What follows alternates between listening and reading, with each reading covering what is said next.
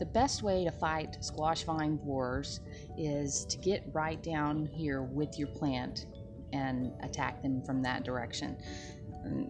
By that I mean get down there at the bug level with your plants. One of the best things to do is just look.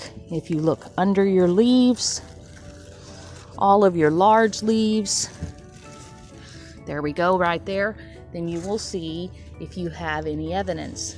Here are the eggs. If you find the eggs under your plant, simply remove them with your thumb or a butter knife or a pair of scissors.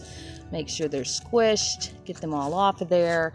Um, that will keep them from from producing in that side. You can also look for evidence on your plants. If you see this here, that's a borer hole. There's no doubt about it. It's a little bit of sawdust around it, and that means that I've probably got a worm down in my plant. So what I normally do with the borer holes is take one of these, dig right into it, not hard, so that the hole is widened up. Then you take your head of your spray nozzle that you use for your insecticide and you place that right down on that hole and you fill it up. Just spray it until you fill it up with neem and then and then you should have it covered.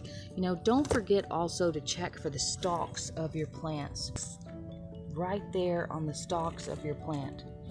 See, there's two two eggs right there. So just look look for your borers. If you do that regularly, then you can keep them under control and you'll be able to enjoy your squash. Guys, have a great one. Bye.